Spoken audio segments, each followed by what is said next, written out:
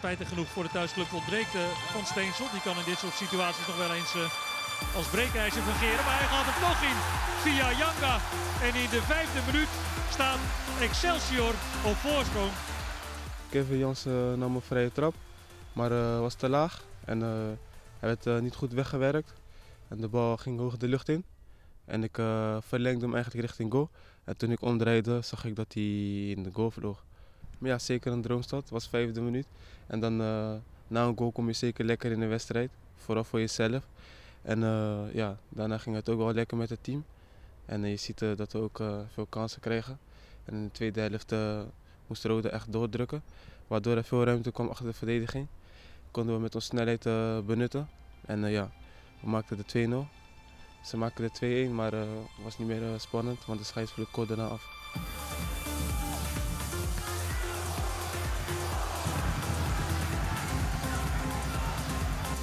En hij vertrok in 2007 van Excelsior naar Feyenoord. En is nu terug in het tenue van de Woudenstein Club. Luigi Bruins.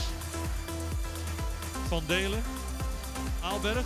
Hier komt de bal op Maatsen.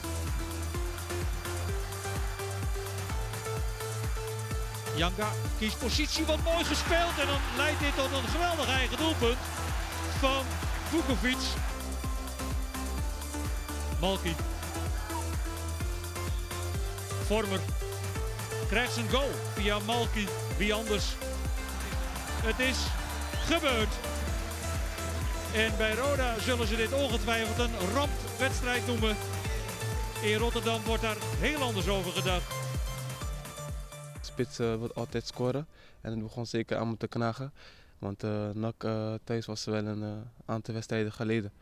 Maar uh, nu heb ik weer gescoord en ik hoop gewoon uh, dat het zelfvertrouwen gewoon uh, me goed doet. Zaterdag na de wedstrijd, toen hoorde je dat de Graafschap had verloren en dat jullie 17e stonden. Erg blij toen? Ja, zeker. we hebben de Rode Lantaarn de Graafschap afgedaan. Het is zeker mooi. En, maar de Graafschap heeft een wedstrijd minder. Maar ja, ze hebben moeilijke tegenstander die ze moeten inhalen. AZ volgens mij. Twente, sorry. En ja, ik hoop gewoon dat we de graafschap onder ons houden. En we moeten nog tegen de graafschap. Dus dat wordt zeker een, een van de belangrijkste wedstrijden van, de, van het seizoen. Thuis zijn we heel sterk. We, thuis uh, kan er voor alles gebeuren. Dus, uh, maar ik zag de graaf. Ik hoorde dat de graafschap thuis niet echt sterk was. En ja, ik hoop dat we het voordeel kunnen benutten.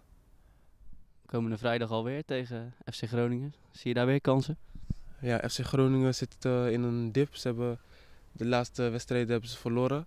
En ik hoop dat we daarvan uh, gebruik kunnen maken. Met weer een goaltje van Janga?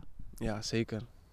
Ik hoop dat ik weer een uh, goal meepik. Ik zit uh, na de goal zit ik wel lekker in mijn, in mijn vel, zeg maar. En ik hoop dat ik vrijdag hier weer belangrijk kan zijn voor het team.